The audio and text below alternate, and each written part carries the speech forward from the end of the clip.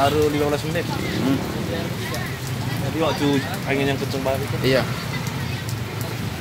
Ya info untuk eh, Setu Sasak Tinggi eh, tidak bisa dilewatin ya kendaraan karena ada pohon tumbang, pohon beringin yang menimpa sebuah mobil.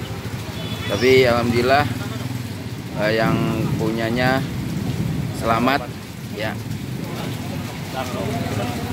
Barusan aja 15 menit yang lalu. Jadi mohon untuk yang mau lewat ke arah Pamulang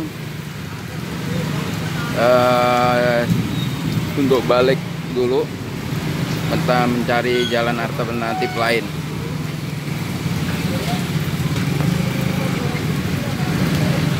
Mbaknya nggak apa-apa, masnya nggak apa-apa, nggak apa-apa ya mobil aja ya.